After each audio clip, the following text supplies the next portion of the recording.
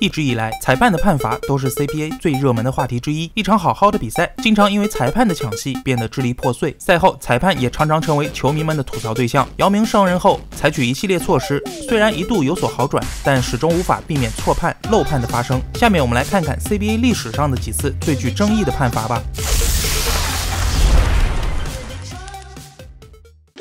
在二零一零年初的几个赛季里，吴敏华是 CBA 中比较活跃的裁判，但也经常出现极具争议的判罚。在二零一三年一月九日，八一与青岛的比赛临近结束时，出现了客队不满裁判短暂罢赛的情况。在比赛还剩一分十二秒左右，八一原本九十三比九十领先，由八一队进攻。此时八一队进攻二十四秒违例，哎，关键时刻也是不敢攻啊！二十四秒，二十四秒违例。哎，这已经二十四秒了，为什么还二十四秒？已经二十四，已经二十四秒了。但裁判并没有做出任何表示。王治郅抢下篮板球，继续组织进攻。随后刘书南扔进三分，将八一原本领先三分的优势扩大到六分。这当即引起了青岛队的不满，因为如果此球判罚正常，那么青岛只落后三分，并且还能在八一二十四秒违例后持有球权。结果是赢是输就不好说了。在交涉过程中，主裁判吴敏华在与技术台反复沟通后，向青岛队承认八一队确实二十四秒违例，可以将时间倒回，但拒绝更改比分。嗯，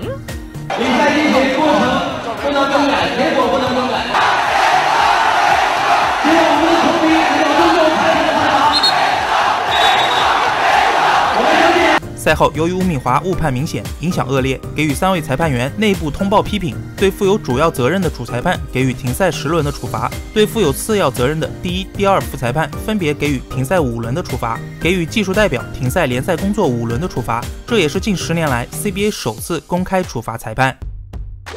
宋延平从一九九五年开始就执法 CBA 比赛了。一九九八年被国际篮球联合会批准为国际级裁判。在江辽站的历史上，总计有两次最具争议的事件，这两次统称为红山体育馆裁判门，也叫红山体育馆惨案。其中以第一次最为著名，争议也最大。当时是一二到一三赛季的季后赛四分之一决赛第五场。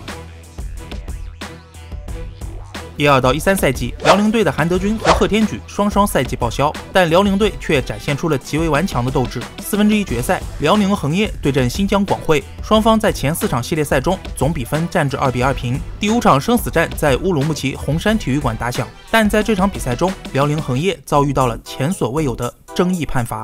本场比赛，郭艾伦砍下三十五分，曾一度帮助辽宁队客场压制新疆队。可是辽宁队的主力内线李晓旭和大外援琼斯全部被罚下场。只要新疆队进攻受挫，裁判马上判罚罚球。而本场比赛的罚球数量，两队实在是相差巨大。新疆队罚球四十次，而辽宁队只有十四次。比赛中各种莫名其妙的判罚或者没判罚，让人无言以对。最后关头，新疆进攻出现失误，将球碰出界外。首首先要确保自己的这波进攻能够打进。哎，这个球，辛考尔顿，我们看，他这边什么情况？这边应该是吹了，呃。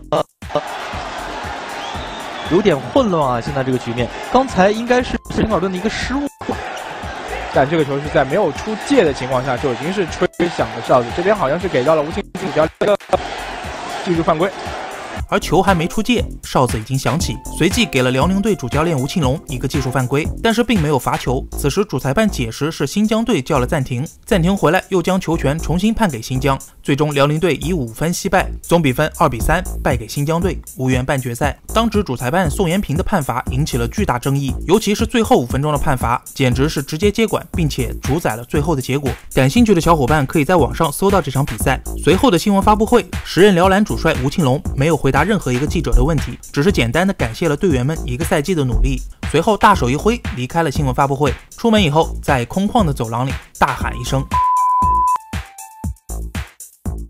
一三到一四赛季，两队系列赛第二站还是老地方红山体育馆，熟悉的地方，熟悉的味道。在比赛最后关头，辽宁队一百零六比一百零八落后两分。辽宁队最后一攻，韩德君在篮下接到了赵继伟的突破分球，准备投篮。此时可兰白克直接抱住了韩德君，双方摔倒在地。裁判不会响哨，这是谁的球？还有三秒。头再传，哎呦，这球还不响哨，裁判还是没有响哨啊！结果裁判并无任何表示，现场技术代表也拒绝回看录像，这也引起了辽宁方面极大的不满。郭志强已经冲进场里去了。对，啊，琼斯也是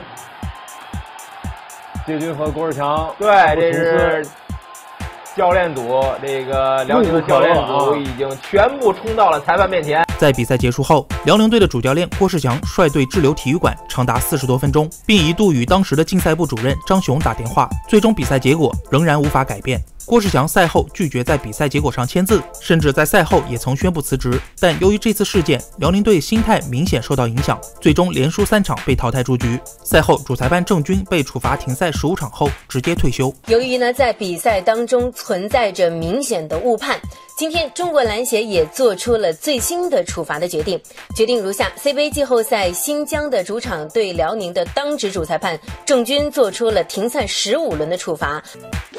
班奇是 CBA 历史上最有名的因为一场球而丢掉饭碗的裁判，是哪场球呢？就是在一五到一六赛季，辽宁队客场与广东队的半决赛第一场上，在加时赛最后三点六秒的时候，比分为一百一十四比一百一十六，辽宁队领先。在球权争抢时，广东队周鹏将球碰出界，韩德君因为及时躲避，并没有碰到球。此时底线裁判背对韩德君，所以并没有看到球到底是谁碰出去的。主裁判选择录像回放，在经过长达八分钟的多次录像回放之后，班奇还是把球权判给了广东队。而韩德君因为没碰到球，而被判定球是碰到他出界的，也被球迷戏称为“韩德君腿毛事件 ”。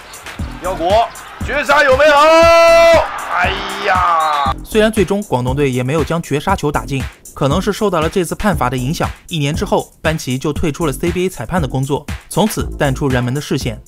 以上只是联赛二十多年来争议判罚中的冰山一角。我们想说的是，在 CBA 不断发展的二点零时代，裁判业务能力和职业化水平依旧是影响 CBA 观赏、公平、形象和发展的突出问题。吹罚是一种平衡，更是一种艺术。对于他们，球迷们或许应该多一些包容和理解。毕竟人非圣贤，孰能无过？咱们后面有机会再来聊聊 NBA 里的裁判是一种怎样的存在。好了，本期视频就到这里，咱们下期再见。